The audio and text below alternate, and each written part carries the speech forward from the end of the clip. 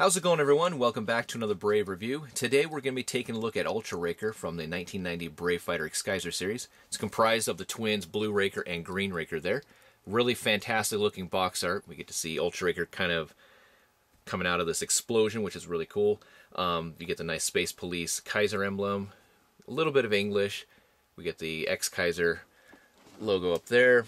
On the back we get to see them in their toy form. We get to see them also taking on Thundergeist little bit of a bio on each character for Ultra Raker, Blue Raker, and Green Raker. They do combine in their um, vehicle modes too. But what's really unique about these combiners is the fact that each robot becomes one half of the combined mode, which is the first time we get our symmetrical docking, which is really cool. We'll see it later on in King of Braves, GaoGaiGar, and even in Transformers Anime. But all right, let's take a look at the figures now. Here they are in their vehicle modes, and they don't look too bad. I mean, they represent exactly what we see in the show. Not too small either. I mean, you look at Blue Raker here from the side, and they're about a foot in length. To put them in their combined vehicle mode, you see the red tabs there. You just interlock them together. There you have it. Rolls fairly nicely. Got some plastic wheels underneath. Could be a little better. Now, as far as some differences between the two molds, besides obviously the coloring, the top of the train you see it the most. Um, you can see the difference right in there. And there are some differences when I once I get them in the robot modes, which I'll feature a little bit later. But all right, let's look at them individually. Let's start off with Blue Raker, and I really like the fact that you can store their weapons and accessories in their vehicle modes. There's at least a spot for them everywhere. But Blue Raker does come with another piece which doesn't really have a spot, which is utilized in his robot mode and the combined mode. Um, I guess if you want, you could plug it in there, but kind of looks weird. But even though you have a head in the back there, that looks kind of weird too. So, and his other accessory pieces that he does come with is this kind of gun type shield, which also becomes a shin guard for um, Ultra Raker. You have the head, and then he also comes with the larger gun there. And as far as his vehicle mode is concerned, he's got some detail. I mean, you got this nice sticker, some panel lining, um, some paint apps here and there. You got the nice Kaiser emblem. And you also have diecast, which actually surprised me when I got these guys out of the box. I was wondering why they're kind of heavy. But yeah, you got this diecast right all the way through here. To transform them, really simple. You're going to unplug the front section there, kind of just have it off to the side. You can see that his arms are right there. So you want to kind of unfold them like so. Take the front end of the train, fold it down, and then the next thing is you're going to separate the rest of the train and then kind of lifting these pieces up, rotate it around, and then just kind of fold those pieces back down. Extend out his legs and then take these black sections here. They're going to plug in right there.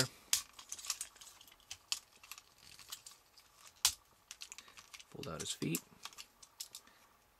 And his waist piece there. Pop up his head. And we have Blue Raker all transformed. As far as articulation, um, the head can rotate around 360 degrees as you saw. Um, in and out, but just about to there in the shoulder and the arms. He does have a elbow joint and I guess a forearm um, joint there. Nothing in the legs, nothing in the waist. So that's all you get.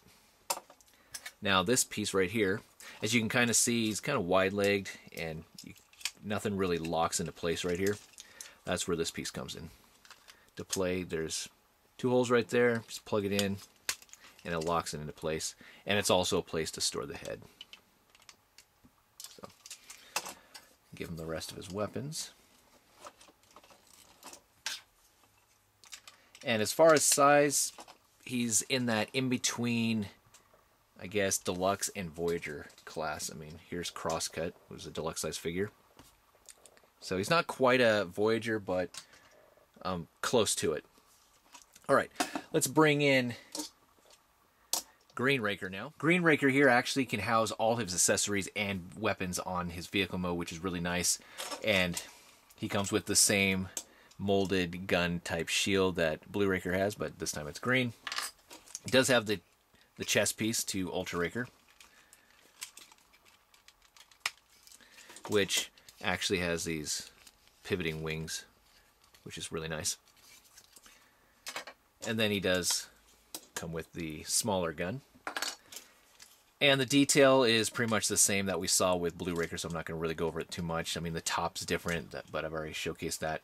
It does have the die cast to transform them exactly the same as Blue Raker, so unfold the front piece, fold down the front part of the train, kind of get the arms out of the way, and then separate the rest of the train. Folding it around. Extend out his legs.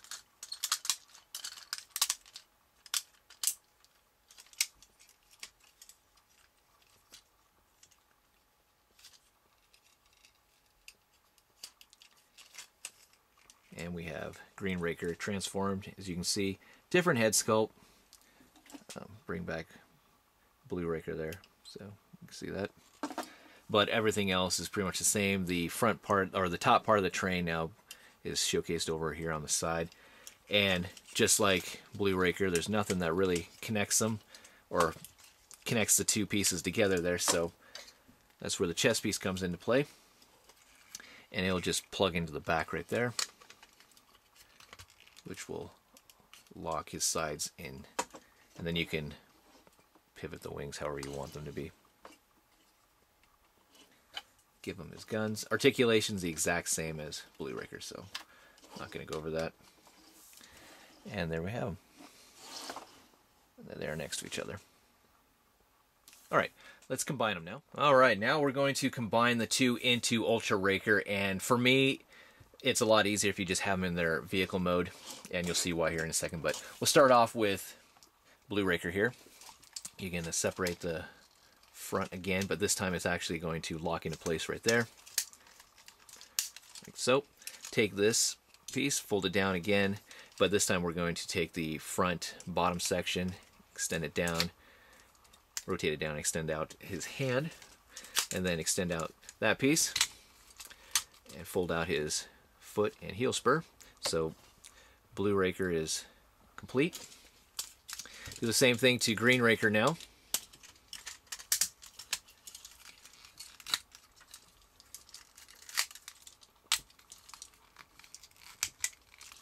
All right, and as you can see, where we're going to connect it at right there.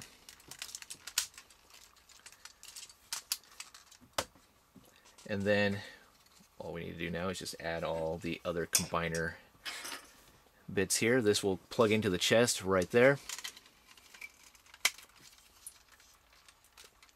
Like so. And then you can move his the wings however you want them to be the head.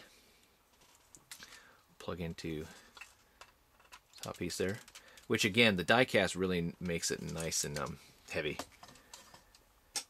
And now we will take Blue Raker's little accessory piece that he used in his robot mode and it's actually going to help keep them together in combined mode. It just plugs in right there. The guns actually combine. There's a hole right there plug it in on top.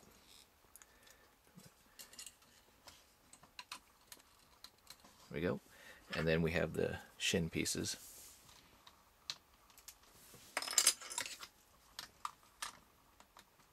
And we have Ultra Raker. And not too bad. There's his head sculpt. And such.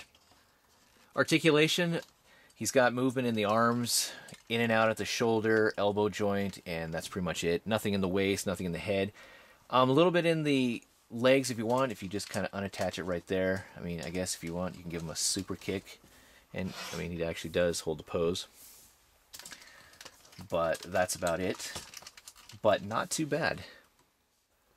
Alright, let's take a quick look at some comparisons. Going to do it a little differently with Ultra Raker and compare them with some other symmetrical docking figures. So up first is Choryujin from the King of Braves GaoGaiGar series.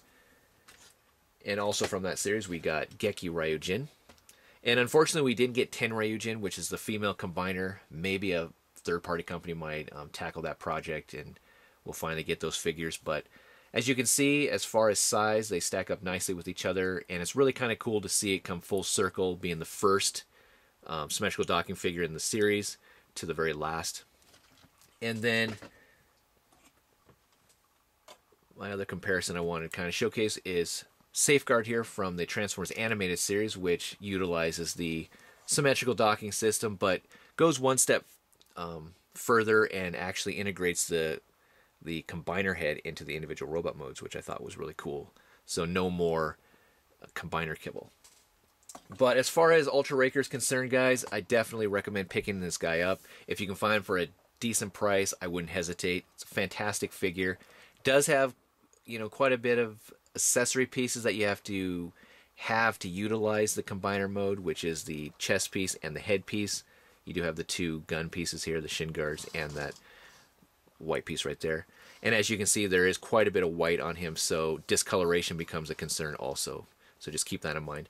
But you can get this guy individually. You can get him in the two pack, and he was not released by Sonokong, so you're looking at getting a, an original Takara. But um, definitely worth picking up. So that's it for Ultra Raker, guys. Um, thank you again for watching. I really do appreciate it. Stay tuned for more. Take care, and I'll talk to you guys later. Bye.